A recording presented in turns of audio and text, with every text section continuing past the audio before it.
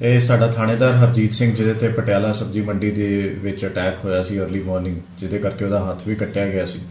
ਅਸੀਂ ਅੱਜ ਉਹਦੀ ਸਪੋਰਟ ਵਿੱਚ, ਉਹਦੀ ਸੋਲੀਡੈਰਿਟੀ 'ਚ ਪੂਰੇ ਪੰਜਾਬ ਪੁਲਿਸ ਨੇ, ਡੀਜੀਪੀ ਸਾਹਿਬ ਦੇ ਹੁਕਮਾਂ ਤੇ ਅੱਜ ਹਰਜੀਤ ਸਿੰਘ ਦਾ ਨਾਮ ਦਾ ਬੈਚ ਲਾਵਾਂਗੇ। ਜਿਵੇਂ ਕਿ ਤੁਸੀਂ ਦੇਖ ਸਕਦੇ ਹੋ, ਮੈਂ ਵੀ ਹਰਜੀਤ ਸਿੰਘ ਦੇ ਨਾਮ ਦਾ ਬੈਚ ਲਾਇਆ ਹੋਇਆ।